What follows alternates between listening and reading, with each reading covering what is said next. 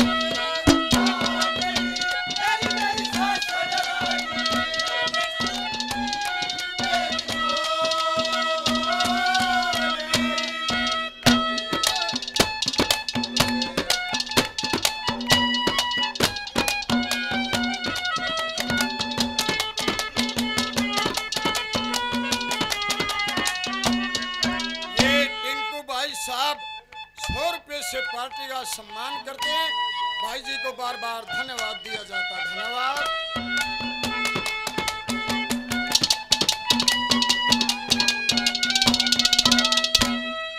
cheating.